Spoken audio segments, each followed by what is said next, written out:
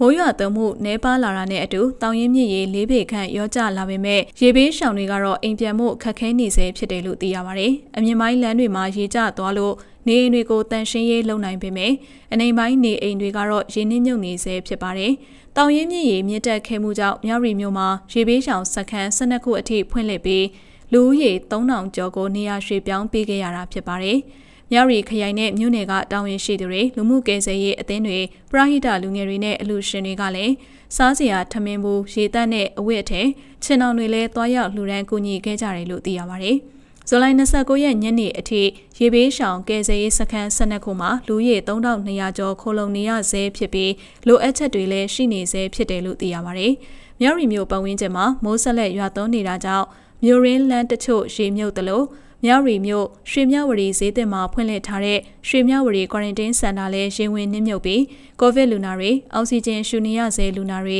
အခက်အခဲဖြစ်လျက်ရှိရလို့သိရပါတယ်။